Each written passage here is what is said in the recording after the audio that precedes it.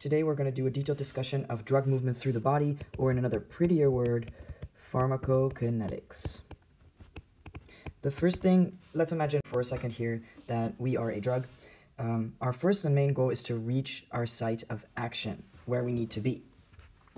But if we look at what happens once a drug is absorbed, most drugs will have to enter the cell to have their effect there, um, at their site of action.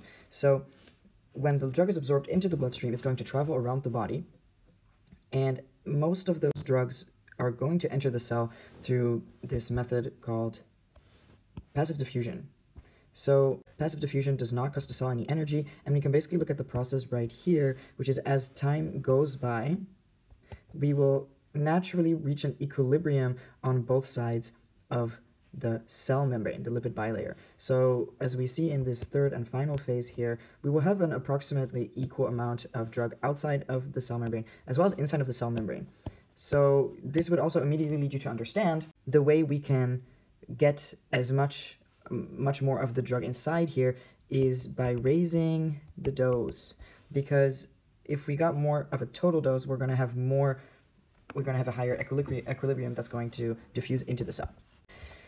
All right, so let's look at our overview for what's going to happen.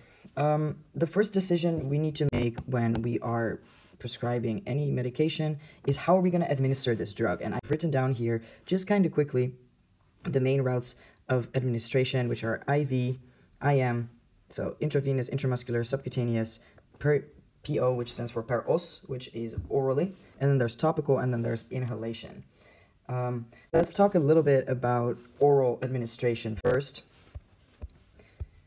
Oral administration is pretty great because it's safe, convenient, and cheap.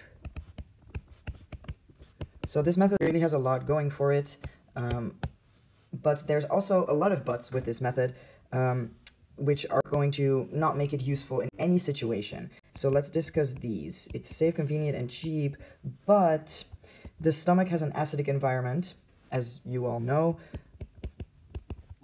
and this could together with enzymes, digestive enzymes, this could have a bad effect on the drug and they might destroy the drug.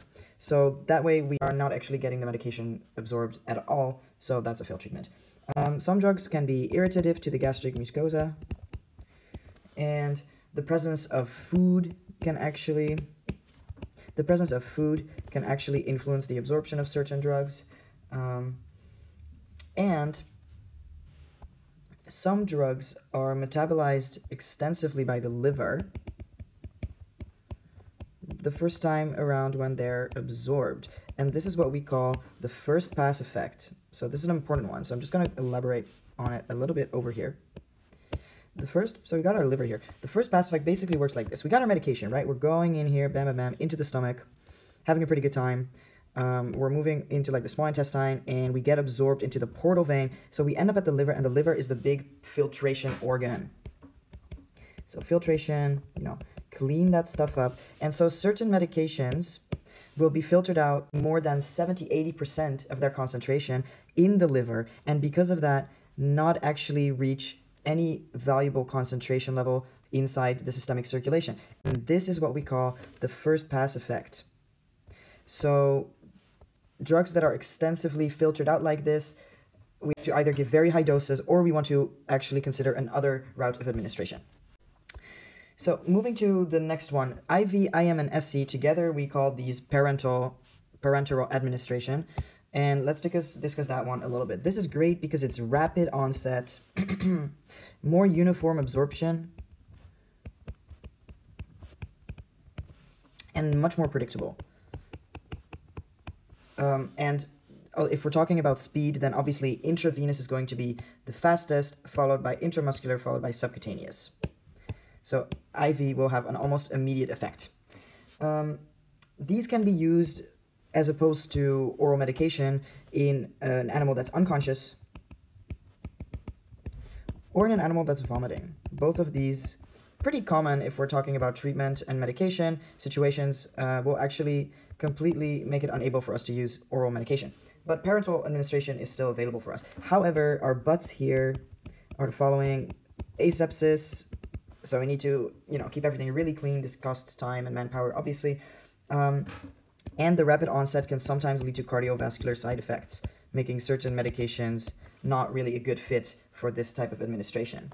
Um, if we look at our other other administration routes, topical and inhalation, topical, uh, our medication, the absorption is going to depend here on the lipid solubility of the drug.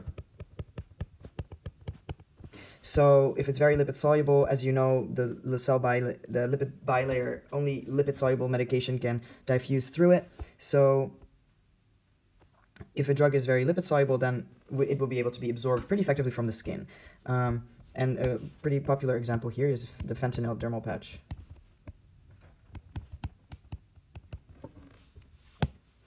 And for inhalation, we use this for like gaseous anesthetics. Like halothane.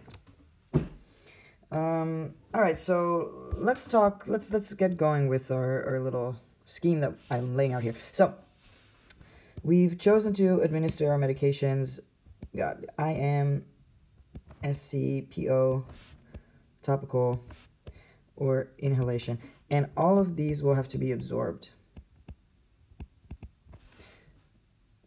so we got um, absorption here.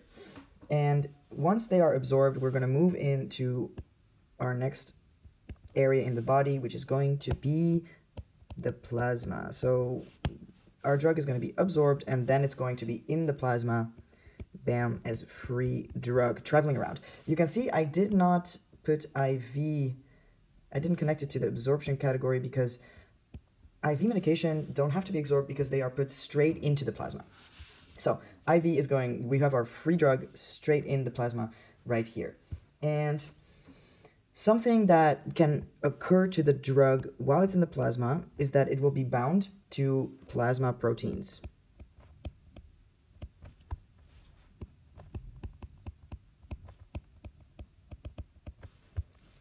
And as I'm highlighting here, this process kind of goes this is an, similarly an equilibrium process, um, but it will not necessarily rest at a 50-50 pace. So whether a drug will bind to plasma protein is really dependent on the character of the drug. Some of them tend to have more than 80% of the drug concentration bound to plasma protein, and some other ones don't really bind to plasma proteins at all. But it's important for us to know about this because binding or not binding is going to have some consequences to how our medication works. So let's take a moment to look into plasma protein binding over here. Um, yeah, as I was talking about, there is going to be a back and forth between a drug, a protein-bound drug, and free drug. Now, I mentioned earlier during the passive diffusion part that we will most likely achieve an equilibrium here that's going to be a 50-50 split of the concentration. However, a drug that is protein bound cannot cross membranes. So that means all of our protein-bound drugs cannot move out of the blood vessels. So they are staying in the blood vessels. While the free drug is still capable of crossing. So it will only be an equilibrium between the amount of free drug in this picture, that's five of them, which means we can expect two and a half to, you know, move into the extracellular space over here and all the drug that is currently bound to these proteins is not able to move across there at all. So this does not actually prevent the drug from reaching the site of action. So the drug still works, but it will slow down the rate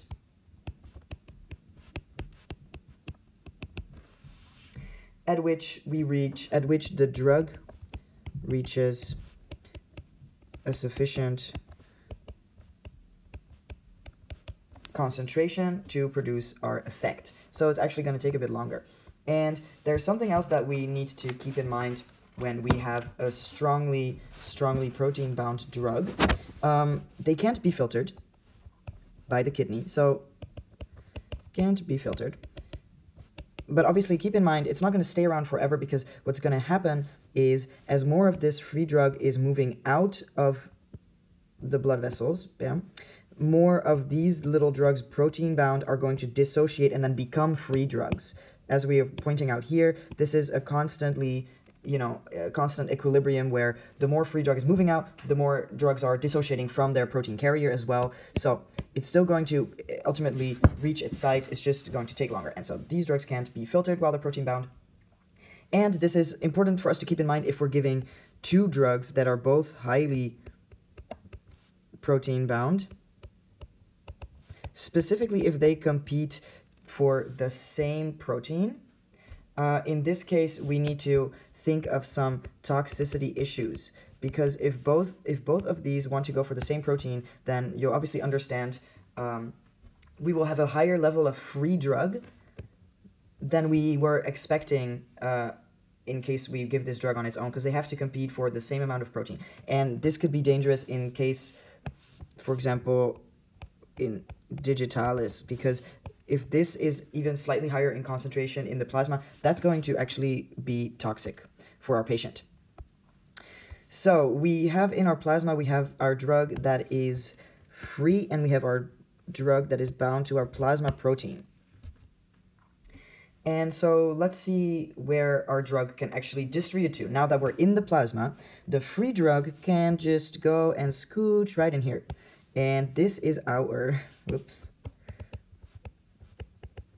our site of action. So this is where we wanted to go all along, right? This is where we wanted to be, and it's wonderful that our drug made it here. Uh, so here what happens as well is we have our free drug, and it's going to have a really fun interaction with the receptor that it's been looking for all along, that we wanted it to reach. And then keep in mind that this is also continuously moving back. So this this traveling through the body is not a process that is one step after the other. Um, it is the culmination of all these things happening at the same time that is going to tell us how the concentration is moving around. So um, something that can also happen is that our drug moves into tissue deposits, which are over here. So maybe it just binds to, um, here again, our free drug moves in here, and then it can go and maybe it binds to some bone tissue or anything like that. Um, and in that case, it's going to kind of hang around there until that bond uh, disintegrates. And then it can go and move back and once again be free drug. So um, what's going to happen next is, I mean, not next in that order, so to say, uh, but obviously we're traveling all around the body right now, and we will inevitably encounter the liver. So our free drug, bam, encounters the liver, and in this liver, biotransformation takes place.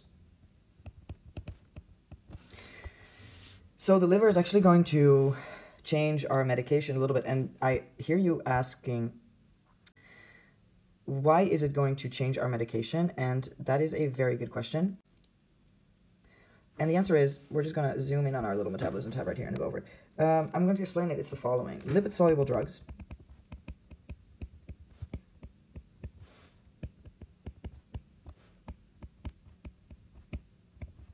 will be reabsorbed in the kidney. So it's actually tough for our body to get rid of lipid-soluble drugs. So what the liver is going to do, it's going to do a two-phase biotransformation to make the drug more water soluble. So it's going to attach certain chemical groups to it to make it more water soluble so that it can be more e effectively excreted by kidney. So this is our process of metabolization. Our liver is going to come in and change change a little bit how this drug looks chemically. And so back in our plasma, after that happens, we're going to have our metabolites. That is the resulting mm, chemicals that that are the results from when our original drug has been metabolized by the liver. So we call them metabolites now. Um, now, you should not immediately assume that this process is equal to deactivation of the drug because that's not the case. Um, often the drug will be deactivated after having been metabolized, but it is also pretty common that the metabolites themselves are actually pharmacologically active, and so they will have an effect on their own. And there are even certain drugs that when we give them in the form that is absorbed and then travels in the plasma, it does not have an active effect. We call this a prodrug. And then only once it reaches the liver, the liver actually turns it into this metabolite which will have the active effect. An example for this is codeine, which is not that effective on its own, but once it reaches the liver, it will be transformed into morphine, which is much better at painkilling. So this is what we call a prodrug, when we actually just want the liver to do the work for us and make the drug. Um, let's let me add a bit, bit onto metabolism here. Um, so this happens in the liver and it can be influenced by other drugs in case of enzyme induction. This is what happens. So imagine um, we use a certain medication, it reaches the liver, and the liver starts to produce a bunch of enzyme, um, specifically to degrade in this two-phase biotransformation, right, to metabolize this medication. And then if we happen to afterwards, soon after, give another medication that is degraded, metabolized by the same enzyme, then at this point this enzyme will be induced, which means there's a heightened amount of this enzyme present because it was already mass produced to tackle that other drug we just gave. So at this point our second drug is going to be metabolized much quicker than we would normally expect. This is enzyme induction. Um, and obviously the metabolism is influenced by age, so the young, the old are particularly not very good at doing this. Um, and it's also influenced by the presence of liver or kidney disease in which our patient is also going to be less capable of doing this. And there are some species differences. For example, if we look at cats, they have very low abilities to glucuronidase, which basically makes them very susceptible to aspirin toxicity because they can't really break that down. So that's a little species specific thing here. So we're gonna we've got we've been we've had metabolism happening. Our drug has been deposited mostly all around the body, um, though not everywhere. Because I do want to mention that we have a few special barriers in the body, like the CNS. It's protected by what we like to call the BBB, which is for blood brain barriers. So the infamous BBB. Not all drugs can easily enter the CNS, which is good because it's an area that we really want to have protected.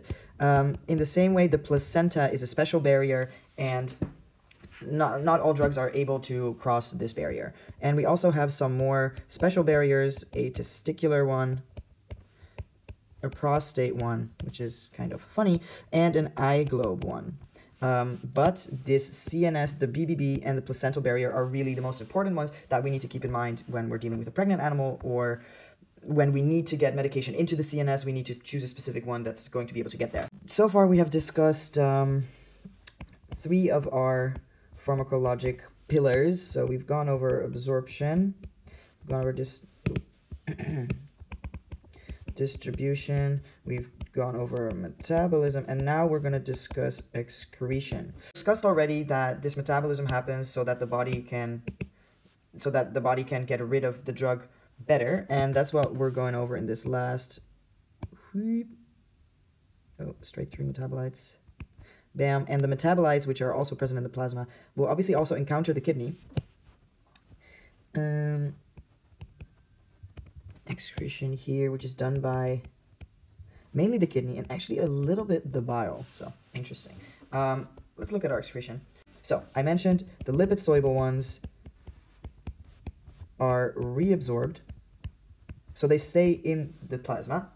Um, and urinary pH is also going to play a big role in which drugs are going to be filtered out because a drug is more likely to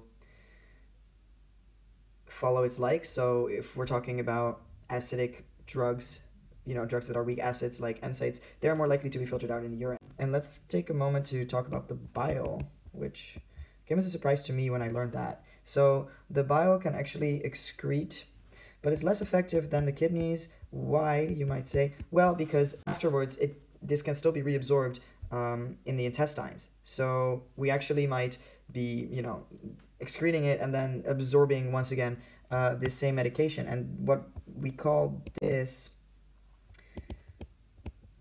enterohepatic circulation. This is the reason that chocolate, which contains theobromine, is so toxic to dogs because it is actually excreted through the bile and then it enters the enterohepatic circulation. And because it keeps kind of going around and around instead of just leaving the body, the half-life for theobromine is actually 17 hours in the dog. So that's a long time for a lot of this medication to accumulate and cause toxic effects. All right, so we've discussed our four pillars of pharmacokinetics, absorption, distribution, metabolism, excretion.